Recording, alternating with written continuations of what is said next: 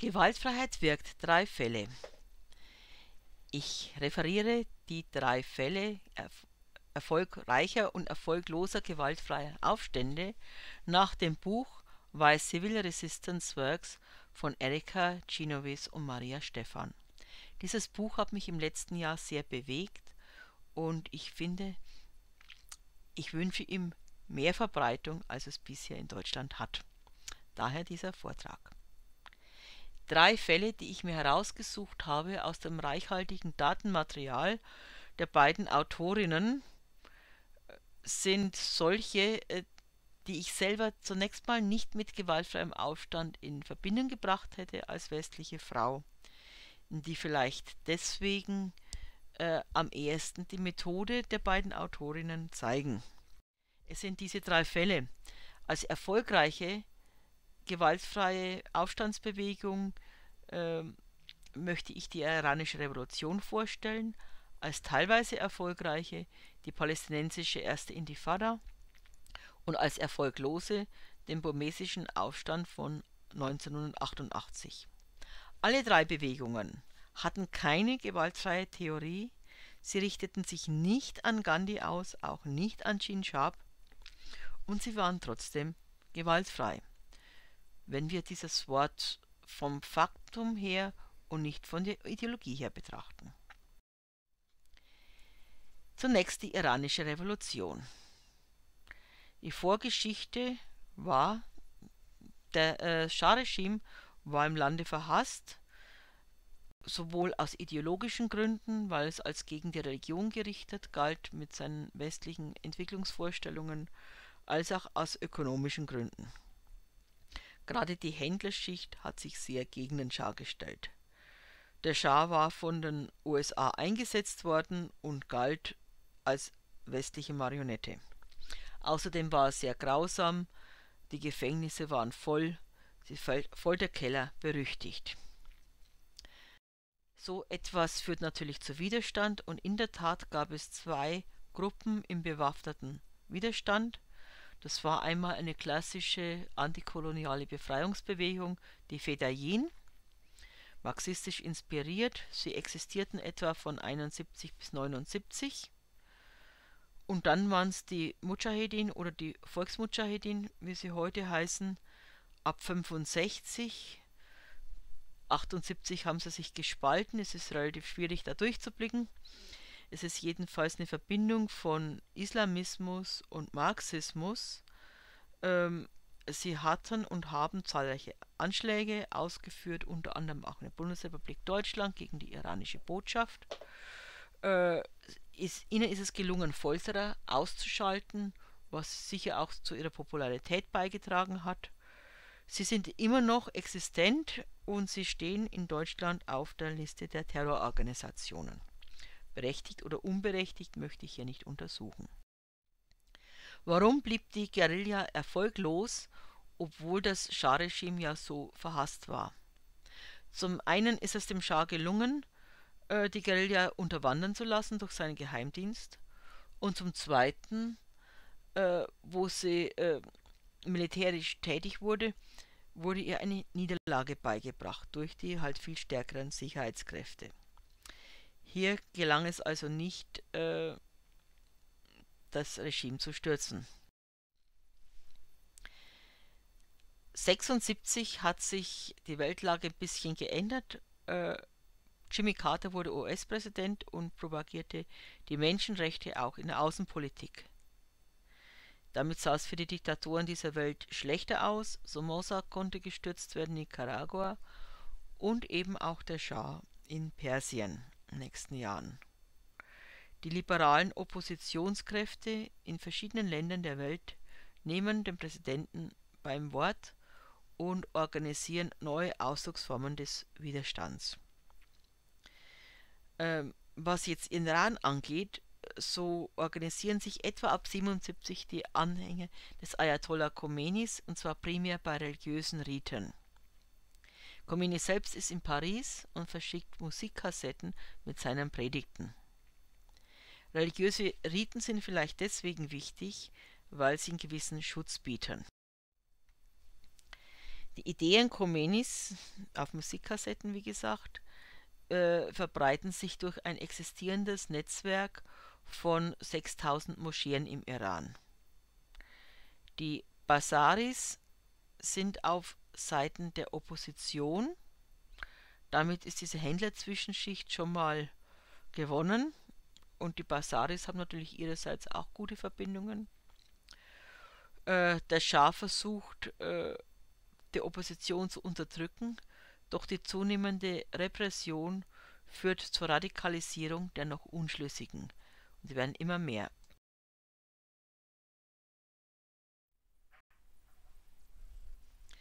Wie sieht die Revolution aus? Zunächst mal gibt es Demonstrationen, die immer größer werden. Die sind extrem diszipliniert. Ähm, es gibt einen Befehl Khomeinis, auf keinen Fall äh, Vorwände für Blutbäder zu liefern und das strikt gewaltfrei zu bleiben. In Gom fliegt trotzdem ein Pflasterstein, worauf die Sicherheitskräfte äh, in die Menge feuern. Es kommt zum Blutbad, aber die Trauer um die Toten wird vom religiösen Brauch umfunktioniert zu einem politischen Manifest. Das kommt in der Zukunft häufig vor. Äh, der Schah reagiert mit der Ausrufung des Kriegsrechts. Die Demonstrationen sind natürlich verboten, finden trotzdem statt und werden gewaltsam zerstreut. Daraufhin wird ein Generalstreik ausgerufen. Das Land wird lahmgelegt. Unter äußerem Zwang durch die Sicherheitskräfte gehen die Ölarbeiter in den Raffinerien dann auch zur Arbeit, bevor sie sich erschießen lassen sind die Sicherheitskräfte wieder ab, äh, ziehen die Arbeiter sich auch wieder zurück und streiken weiter. So kommt der Schah also nicht zum Zug. Jetzt wird entscheidend sein, wie sich die bewaffnete Macht verhält. Eine Kampagne wird begonnen, die sich direkt an die Streitkräfte wendet. Sie sollen nicht auf das Volk schießen. Der Stabschef der Streitkräfte äh, hält sie höchstens noch zu 55 Prozent einsetzbar. Das heißt nur zur Hälfte. Im letzten Moment, da ist es schon zu spät, da ernennt der Schah eine neue liberale Regierung unter Bakhtiar. Nutzt nichts mehr. Im Januar 79 muss er in die USA fliehen und Khomeini kehrt aus Paris im Triumph zurück. Jetzt beginnt der allgemeine Aufstand, in dem die Menschen die Kasernen umzingeln, die Soldaten entwaffnen. Es gibt nicht den befürchteten Bürgerkrieg. Die siegreiche Revolution setzt ihren Staat durch. So, jetzt wäre schön, es geht aber weiter. Äh, heute identifizieren wir den Iran mit dem Terrorregime. Wie kam es dazu? Die siegreiche Koalition zerbricht sehr schnell. Die äh, Liberalen haben eigentlich keine Vorstellung, wie es weitergehen soll, während die Islamisten um Khomeini sehr konkrete Staatsvorstellungen haben, wie sie die Macht erringen und behalten wollen. Sie ähm, reißen sie an sich und schalten die anderen einen nach dem anderen aus. Die Reste der Guerilla, die es auch gibt, äh,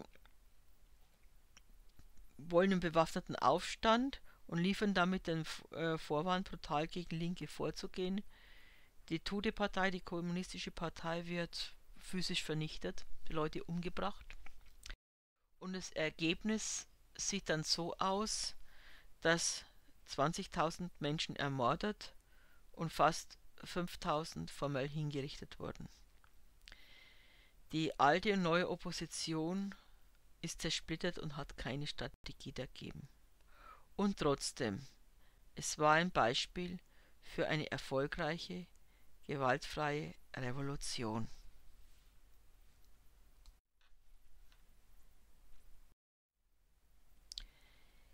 Hier schauen wir uns äh, das Schema an, was unterschied die gewaltlose Revolution im Iran von der bewaffneten Guerilla.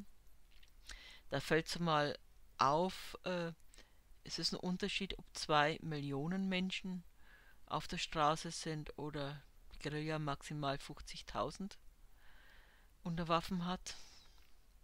Die Guerilla hat primär die männliche Stadtjugend angesprochen, Marxisten an der Universität, während die gewaltfreie Bewegung mehr oder weniger die gesamte Gesellschaft umfasst hat, auch die Mittelklasse, auch die Geistlichen, auch die Frauen, auch die Gewerkschaften. Der gewaltfreien Bewegung gelang es, den äh, sogenannten Loyalty Shift zu bewirken, das heißt die Sicherheitskräfte zu neutralisieren. Sie hat ihre Taktik angepasst. Äh, sie konnte die Repression zurücklenken, sodass äh, je mehr die Repression, desto größer die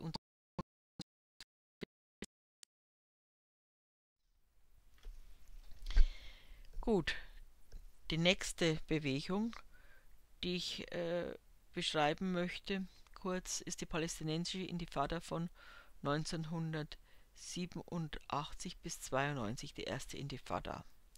Es fällt eigentlich in zwei Teile, werden wir sehen. Der Anlass ist kurz erzählt, es ist ein tödlicher Verkehrsunfall mit vier Toten. Es sind äh, palästinensische Tagelöhner, die nach Israel fahren wollen auf dem LKW der LKW wird durch Militärfahrzeug gerammt. Darauf gibt es Proteste, Demonstrationen, die Palästina-Flagge wird gehisst, Barrikaden mit brennenden Reifen werden gebaut und das Militär wird konfrontiert. Das war natürlich nicht die Ursache, die liegt tiefer. Die Ursache war, dass die PLO, die damals in Tunis saß, stark an Einfluss verloren hatte, auch unter den arabischen Staaten galten, gelten die nur mal als lästig. Die Stellvertreterpolitik, die die PLO bis dahin geführt hat, steckt in einer Sackgasse. Das heißt, die lokale Bevölkerung muss selber aktiv werden. Wenn wir heute über die Intifada äh, sprechen, denken wir immer an Steine werfen und Selbstmordattentate und sowas. Äh, in der ersten Intifada waren äh, 97% der Aktivitäten, das Militär meldete, gewaltfrei. Das waren Massendemonstrationen, Streiks, ziviler Ungehorsam, Passverbrennung, Steuerboykott, äh, lauter Sachen, die man üblicherweise nicht sieht. Unsere Autorin hat es sehr genau ausgewertet, deswegen kommen sie auf 97% und nicht 95% und nicht 98%. Ähm, allerdings äh, gilt äh, diese Gewaltfreiheit primär für die Zeit vor 1990.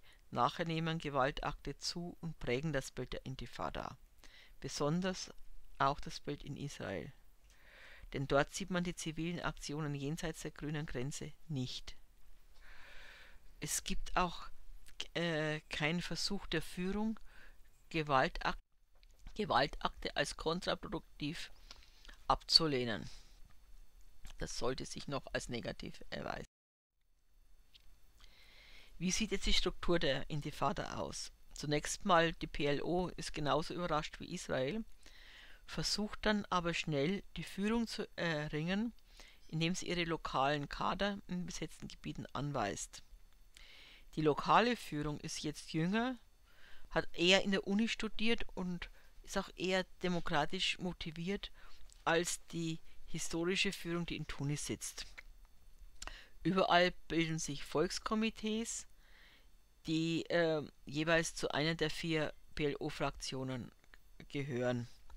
Die vier PLO-Fraktionen sind die Fatah von Arafat, die DFLP Demokratische Front zur Befreiung Palästinas, die Volksfront zur Befreiung Palästinas und die Kommunistische Partei Palästinas.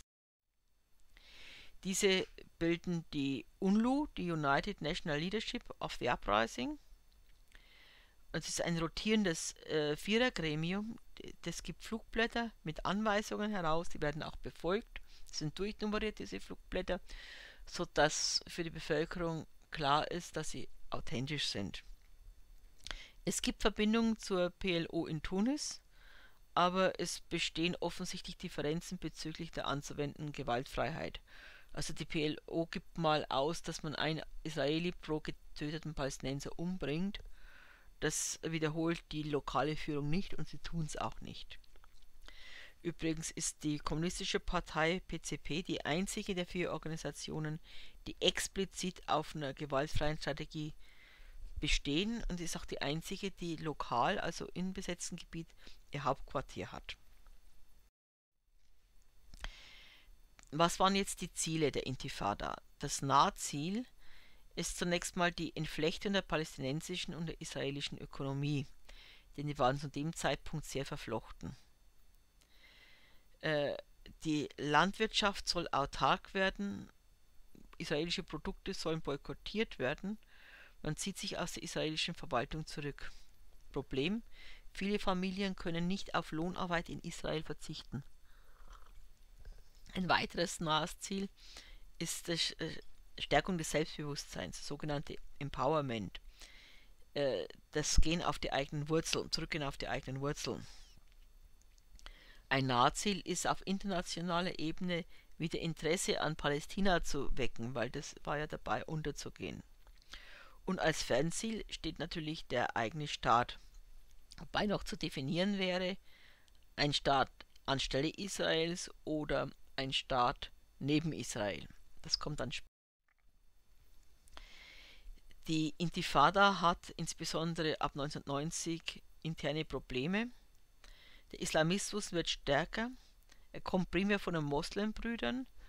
Aus ihm gehen dann die Organisationen Hamas und Dschihad hervor, die sich gegen die säkulare PLO wenden. Ähm, die Propagierung der eigenen Tradition bedeutet natürlich auch, dass die Tradition der Frau im Haus propagiert wird. Die Frauen werden immer mehr verdrängt und äh, das Bild, das sie ursprünglich hatten, Teilnahme an Intifada, das geht immer mehr zurück. Es gibt auch große wirtschaftliche Probleme, denn die Streiks treffen die eigene Wirtschaft viel mehr als die israelische.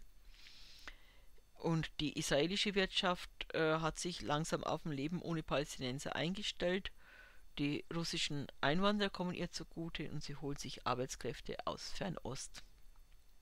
Das heißt aber umgekehrt, die Arbeitsplätze, die weg sind für die Palästinenser, sind dauerhaft weg. In der Außendarstellung, in der eigenen und in der Außenwahrnehmung überwiegt immer noch der Kult der Militanz, wenn man sich die Wandbilder und so ansieht, wird immer noch gezeigt, äh, Steine werfen und Molotow-Cocktails werfen als äh, Hauptwiderstand. Äh, die Gewaltfreiheit, die ja ausgeübt wurde, wird nicht entsprechend offensiv propagiert. Es kommt aber auch tatsächlich zunehmend zur Militanz. 1990 verübt die PF, PLFP einen Anschlag auf den Stand von Tel Aviv. Die PLO weigert sich, ihn zu verurteilen. Darauf brechen die USA die Gespräche mit der PLO ab. Das, äh, der Eindruck in Israel ist natürlich auch verheerend. Es kommt zwischen den Fraktionen Hamas und Fatah zunehmend zu Gewalt. 1990 werden bereits mehr Palästinenser intern getötet als durch israelisches Militär das ist dann ein Zeitpunkt, wo die Intifada abgebrochen wird. Trotzdem hat sie einige Erfolge erzielt. International verurteilt der UN-Sicherheitsrat inklusive der USA Israels unangemessene Gewaltanwendung gegen Zivilisten bei dem Versuch, die Intifada niederzuschlagen. Es gab immerhin 650 Tote in 18 Monaten. Es gibt eine starke internationale Unterstützung durch äh, zivilgesellschaftliche Organisationen, durch NGOs, die dann immer bei so Modellaktionen mitmachen. Es kommt zu einer Erneuerung der israelischen Friedensbewegung, mehr Demonstrationen mit mehr Teilnehmenden und ganz neu und ganz wichtig, es kommt zur selektiven Kriegsdienstverweigerung in Israel. Im Jahr 88 erklären über 500 Wehrpflichtige in Israel, dass sie nicht in den besetzten Gebieten Dienst tun werden. Das israelische Militär tut sich sehr schwer damit. Ja, und Jordanien verzichtet auf die Westbank. Jordanien hatte die Westbank ja annektiert äh, nach dem Scheitern des UN-Teilungsplans. Ähm, und jetzt sagt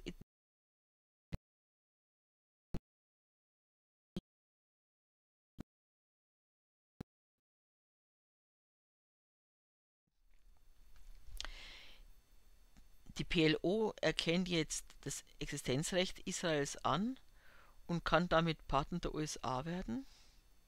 In den USA gibt es auch unter US-Juden starke Opposition gegen israelischen Siedlungsbau. Es kommt zur Friedenskonferenz von Madrid 1991. Dazu muss man sagen, die Friedenskonferenz von Madrid war von der palästinensischen Zivilgesellschaft. Da waren so Leute wie die Hannah Ashrawi dabei und so. Sie war jetzt nicht eine Funktionärskonferenz wie nachher Oslo. Ja, nicht zum, äh, zuletzt 1992 wird in Israel Yitzhak Rabin zum Premier gewählt und 90% der Israelis unterstützen jetzt die Verhandlungen mit der PLO, die ja vor kurzem noch strafbewehrt waren. Ja, die äh, Erfolge äh, sind natürlich zum Teil zweischneidig. Es kommt zum Oslo-Abkommen 1993, aber in Oslo war die lokale Bevölkerung gar nicht beteiligt, auch Frauen nicht beteiligt. Es war wieder nur die Tunis-PLO das Abkommen ausgehandelt hat. Und einige Schwächen des Abkommens sind direkt darauf abzuleiten. Die Tunis-PLO kann jetzt zurückkehren nach Palästina, das ist sehr schön. Das führt aber zur Auflösung von Basisstrukturen, die sich gebildet haben. Äh, die werden jetzt verdrängt durch äh, die Rückkehrer, äh, die ihre Vetternwirtschaft fortsetzen oder einführen und die auch international finanziert werden, äh, um die verschiedenen sonstigen Gruppen niederzuhalten, äh, schaffen sie zahlreiche Geheimdienste an. Das ist das, was das Land am wichtigsten gebraucht hat.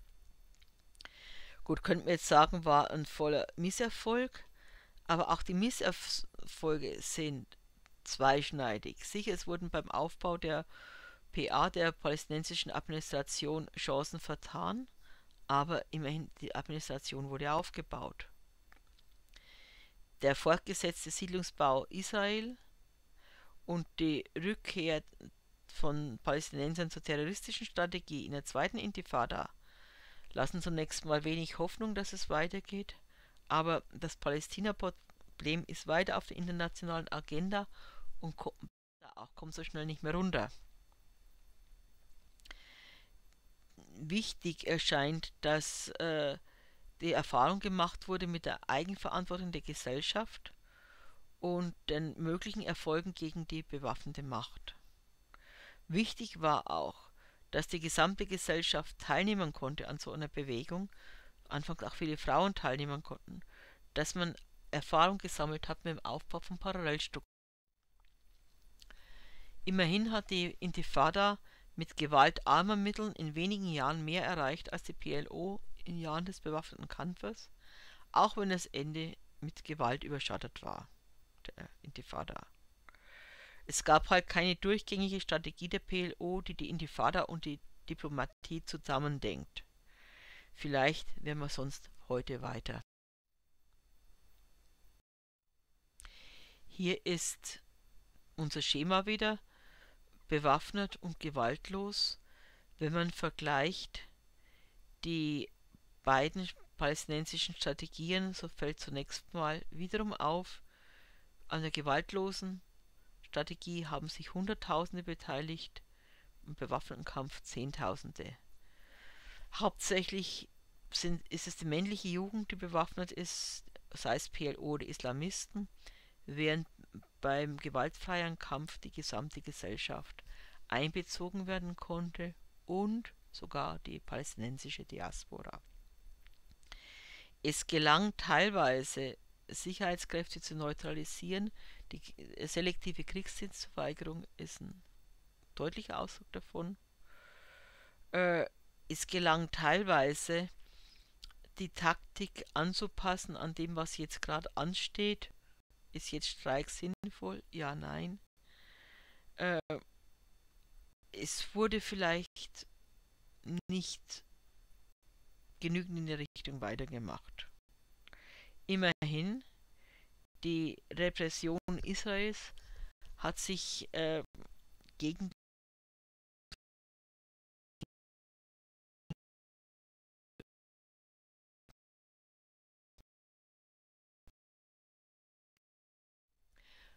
Jetzt kommen wir zu einem Misserfolg, dem Aufstand in Burma 1988. Machen wir ganz kurz. Seit 1948 ist Burma unabhängig, seit 1962 leider Militärdiktatur. Gegen die gab es immer wieder Unruhen, insbesondere auch der verschiedenen ethnischen Gruppen, die es dort gibt. Die wurden gewaltsam niedergeschlagen. 1988 kam es dann wegen der Wirtschaftspolitik zu einem Aufstand. Dieser Aufstand ging primär von den Studierenden aus. Daraufhin schließt das Regime Schulen und Universitäten. Es kommt zur blutigen Repression. Aber erst in einer späteren Phase suchen die Studierenden Verbindung zu den Oppositionsveteranen, die es in Burma ja auch gibt, ähm, die auch schon einige Erfahrung hätten. Teile der Arbeiterbewegung und buddhistische Mönche solidarisieren sich mit den Studierenden und es kommt am 8.8.88 zum Generalstreik. Ganz äh, gewaltfrei ist der Aufstand nicht. Parallel gibt es auch bewaffneten Widerstand von einzelnen Gruppen und es ist eine undurchsichtige Gemengelage. Die Aung San Suu Kyi, die Tochter des Unabhängigkeitshelden, tritt jetzt hervor. Sie war lange im Ausland gewesen. Sie findet massenhaft Anhänger und ist äh, so eine Führungsfigur, aber es gelingt nicht, eine einheitliche Aufstandsführung zu etablieren. Es gibt auch keine gemeinsamen Forderungen. Das Land ist eher paralysiert. Die Regierung lässt dann doch Wahlen abhalten, an denen die Opposition auch teilnimmt und wundersamerweise gewinnt. Damit hat niemand gerechnet. Die, äh, das Regime erkennt die Wahlen einfach nicht an und die Opposition versinkt jetzt eher in Agonie, als dass sie wegen des Wahlbetrugs äh, nochmal mobilisieren könnte. Der Aufstand endet also in einer Niederlage. Keine gemeinsame Strategie von den unterschiedlichen Kräften war erkennbar. Es wurden auch keine Bruchstellen im Regime gesucht und nach dem Wahlbetrug kam es wieder verstärkt zu bewaffneten ähm, ja, Anschlägen. Es war ein unklares Verhältnis zwischen bewaffneten und gewaltfreien Gruppen. Und doch 2007, also nach Redaktionsschluss unseres Buches, äh, kam, kam es neu zu Aufständen. Seit 2012 gibt es eine Demokratisierung in Burma. Nochmal unser Schema. Am gewaltfreien Kampf hat sich etwa eine Million beteiligt, am bewaffneten sind es einige Tausende. Es ist wieder nur die männliche Jugend, die sich bewaffnet, ländliche Kommunisten, ethnische Gruppen, während äh, bei der gewaltfreien Strategie äh, verschiedene städtische Gruppen aktiv sein können. Trotzdem gelingt es nicht, die Sicherheitskräfte zu neutralisieren. Äh, die Taktik bleibt unklar und beides scheitert.